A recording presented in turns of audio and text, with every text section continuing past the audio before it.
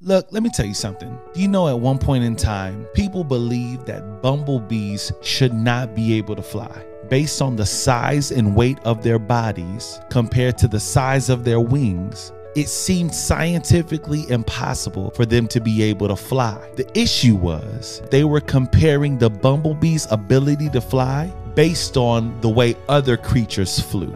But upon further examination, they found that the bumblebee's ability to fly wasn't based on the size of their wing, but the way that the wings moved. While other creatures flapped up and down, the bumblebee's wing moved in a circular motion at a faster pace differently than other animals. The difference is what made them do things that other creatures couldn't do. And this is a word for some of you who were just born different. You're wired different.